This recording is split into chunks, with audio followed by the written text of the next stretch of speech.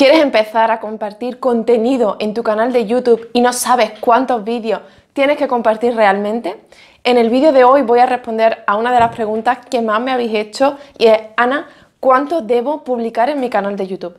Y para eso voy a decirte en qué variables puedes fijarte para no perder tu tiempo en esta plataforma y que puedas sacarle el máximo rendimiento y también voy a contarte en qué momento de mi negocio he decidido yo publicar dos vídeos a la semana. Pero antes de empezar, recuerda que puedes suscribirte al canal si todavía no lo has hecho y activar la campanita para que YouTube te avise cada vez que suba un nuevo vídeo. Y ahora sí, empezamos.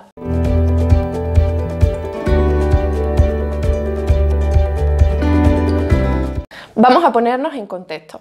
Esta persona me escribió hace unos días y me preguntaba, Ana, quiero empezar ya con mi canal de YouTube, ya lo tengo todo establecido, ya lo tengo todo eh, diseñado y creado solo para empezar a compartir y quiero empezar con dos vídeos a la semana.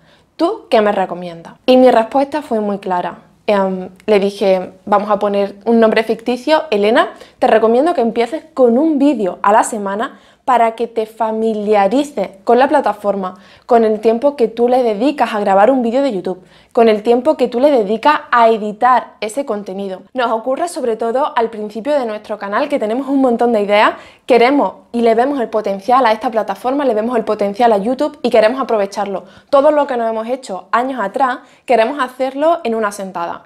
Y claro, esto puede, tener, puede ser un arma de doble filo. Por un lado, es cierto que vamos súper motivadas y queremos empezar a compartir un montón de contenido, pero por otro lado, puede hacer que consigamos el efecto contrario, es decir, que nos desanimemos con la propia plataforma porque empecemos a verlo como una obligación, como de repente se ha convertido en una carga muy pesada de llevar e incluso puede hacer que decidamos dejar el canal por ese estrés, por esa ansiedad, por esa preocupación o por ese exceso de trabajo que puede suponernos al principio.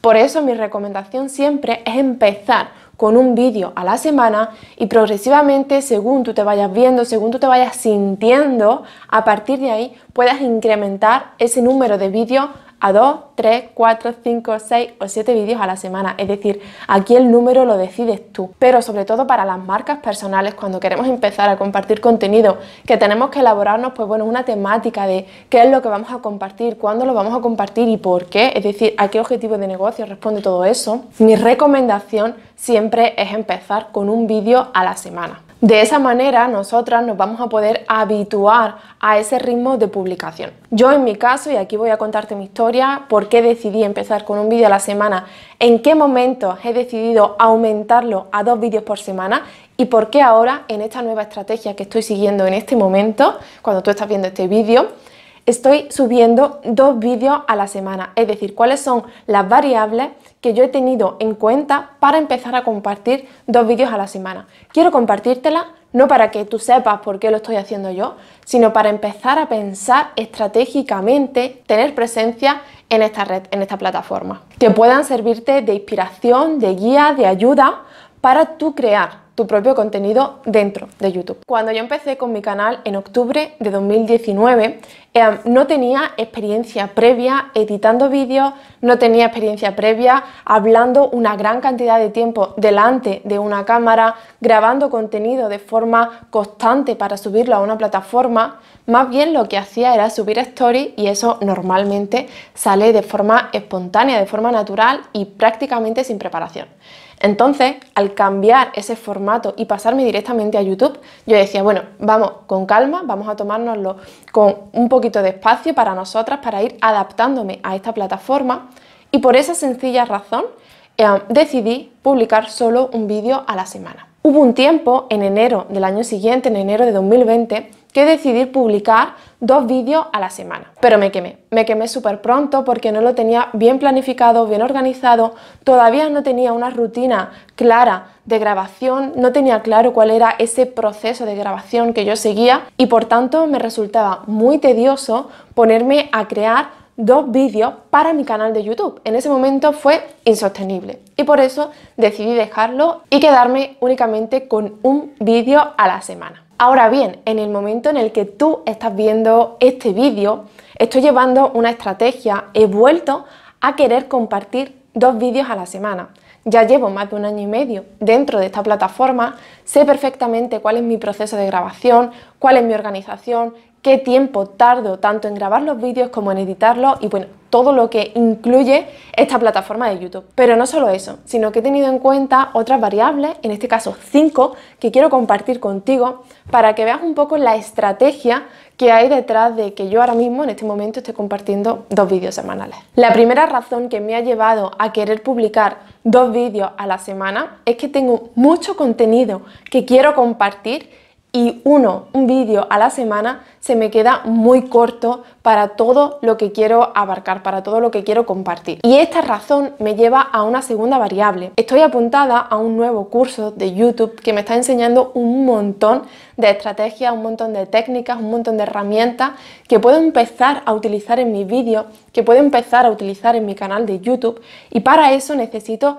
testearlo con nuevo contenido. De ahí que quiera subir dos vídeos a la semana para explotar todas esas temáticas que quiero empezar a compartir contenido, pero por otro lado, y esa es la, segunda razón, para empezar a implementar todas las herramientas, todas las técnicas y tácticas que estoy aprendiendo dentro de ese curso, para yo poder testearlas, ver si funcionan y así enseñárselas a las alumnas que están dentro de mi curso de YouTube. Como bien sabes, tener un canal de YouTube te lleva tiempo, es una estrategia a largo plazo. Por eso necesito darle como ese impulso, y ahí viene la tercera razón, quiero darle un impulso a mi canal para ver en qué de qué manera esas estrategias influyen en el crecimiento de mi canal. Y lo que el año pasado conseguí en un año, en 365 días, este año quiero conseguirlo en seis meses y multiplicarlo. Por otro lado, como te decía antes, yo ya llevo bastante tiempo dentro de YouTube,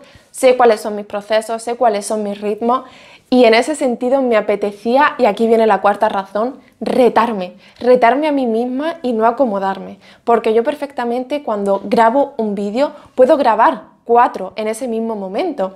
Eso yo antes, al inicio de mi canal, no podía hacerlo grababa un vídeo y ya me parecía como lo más grande y lo más tedioso incluso. Ahora no, ahora he ganado esa habilidad, he ganado tiempo a la hora de grabar, de editar y de todo ese proceso que te comentaba antes y eso me permite que pueda afrontar este nuevo reto con ganas, con ilusión, con entusiasmo. También es cierto que este primer trimestre del año de 2021 estoy creando junto con otra persona un nuevo proyecto y no sé en qué medida voy a poder cumplir con este nuevo reto. Aún así yo me lo quiero proponer y siempre que pueda va a haber este segundo vídeo dentro de mi canal de YouTube. Quiero explorarme, quiero retarme, quiero ir un pasito más allá y lo que te decía antes, aplicar todas esas estrategias que estoy aprendiendo para poder trasladárselas a mis alumnas y que ellas mismas también las apliquen en sus canales y puedan hacerlos crecer. Y por último, la quinta razón que me ha llevado a mí en este momento a querer grabar dos vídeos a la semana es que como bien sabes, desde hace relativamente poco estoy monetizando mi canal de YouTube. Y esto para mí ha sido como una motivación y un impulso enorme. Sí que es cierto que yo no empecé mi canal con el objetivo único de monetizar mi canal a través de la propia publicidad dentro de YouTube. Sin embargo, saber que esa posibilidad existe y que depende únicamente de mí, y más en el momento en el que estamos viviendo, me parece que es una fuente de ingreso brutal y quiero explotarla lo máximo posible. De hecho, me hace muchísima ilusión empezar a monetizarlo porque me he puesto como mi objetivo, cuando monetizara ese canal, cuando llegue a una cantidad de dinero, eh, quiero invertirlo, ese dinero que me da YouTube, en un equipo de grabación, en una cámara, en un trípode, en mejorar el fondo, en mejorar el sonido, es decir, quiero invertir ese dinero de YouTube en esa recompensa. Para mí, tener ese equipo de grabación va a ser como la recompensa de haber conseguido ese objetivo. Siempre se lo digo a todas mis clientas y esto ya tiene más que ver con el coaching, pero siempre que nos marcamos un objetivo tenemos que tener muy clara cuál será esa recompensa que yo me voy a dar por haber conseguido ese objetivo. Y eso nos hace que estemos ahí con más ganas, con más ilusión, sabiendo el para qué lo estamos haciendo, qué es lo que queremos conseguir, qué es lo que queremos ganar y así animarnos en esos momentos incluso en los que nos venimos abajo, en los que estamos más caídas, para que así podamos nosotras mismas automotivarnos y movernos a la acción. Y por otra parte, quiero que esa monetización me ayude a financiar la edición de los vídeos de YouTube, de modo que yo misma pueda liberar ese espacio de tiempo en, mi trabajo diario que me permita grabar más vídeos pero que me quite esa parte de editar los vídeos y que pueda tener a una persona exclusivamente para editar los vídeos de YouTube. Y estas cinco razones forman en sí mismas una razón indiscutible e indispensable para hacer dos vídeos a la semana. Son razones que a mí me movilizan, que me llevan a la acción, que me empujan a ser mejor cada día y también a traerte a ti un contenido que te ayude, que te impulse y que te motive a crear tu propio canal, a ponerte delante de una cámara, a comunicar tu mensaje allá donde tú quieras hacerlo. Evidentemente, estas son mis razones, estas son las variables que yo he encontrado para motivarme a mí misma. Tú tienes que encontrar las tuyas propias. Incluso tú misma tienes que buscar tus propias variables que te impulsen, que te motiven, que te hagan querer grabar vídeos para YouTube, aunque solo sea, aunque solo vayas a compartir un vídeo a la semana, pero que de esa manera puedas ser constante porque lo asocies a un objetivo mayor que tú quieres conseguir con esta plataforma. Da igual los resultados, da igual las visualizaciones que tengas en cada uno de tus vídeos. Evidentemente vamos a buscar con estrategias que esas visualizaciones cada vez vayan a más. Pero al principio, si estás empezando, es normal que haya pocas visualizaciones.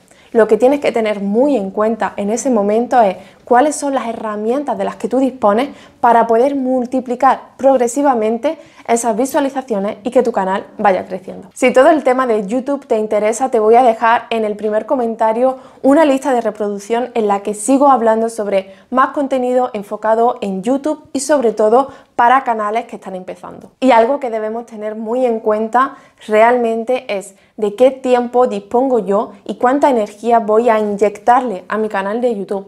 Eso es indispensable que cada una lo piense para sí misma y realmente diga, vale, yo realmente cuánto tiempo quiero dedicarle a YouTube. A lo mejor tengo muchísimo tiempo, pero no me apetece dedicarle toda esa energía a YouTube y también está bien. Es decir, cada una tiene que saber y decidir eh, cuántos vídeos, cuánto tiempo quiere dedicar a YouTube. Hemos hablado de muchas cosas en este vídeo, hemos hablado del proceso de grabación, hemos hablado de cuántos vídeos tenemos que subir realmente a la plataforma de YouTube, hemos hablado del tiempo, del bienestar, hemos hablado de mi estrategia, es decir, por qué yo ahora he decidido grabar dos vídeos a la semana. Ahora me encantaría que me dejara en comentarios cuántos vídeos subes a la semana, si tú también tienes un proceso de grabación, cuánto tiempo llevas con tu canal, si estás pensando en iniciar tu canal y por supuesto si te apetece, comparte la URL de tu canal de YouTube. Así podremos ir a ver ese canal y ver cuál es tu contenido. Antes de irme voy a dejarte por aquí la lista de reproducción con más vídeos